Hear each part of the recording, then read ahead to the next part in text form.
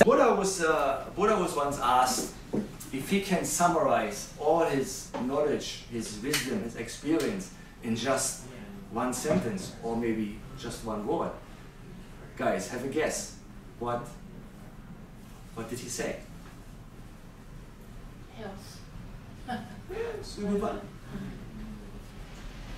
He said now, because now is the most important word.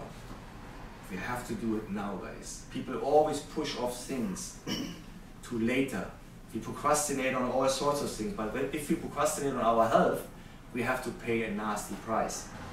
All the knowledge I give you has been tested uh, for thousands of years, you know, ancient wisdom. And then we have now a new wave, which is biohacking and a lot of new information, new research, which is obviously coming in into play as well. So apply self-love